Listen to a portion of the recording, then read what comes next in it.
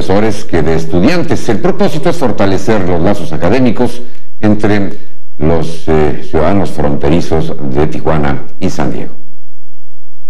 Y creo que tenemos una excelente oportunidad de cumplir con las metas y de fortalecer los lazos de colaboración entre las universidades de la frontera.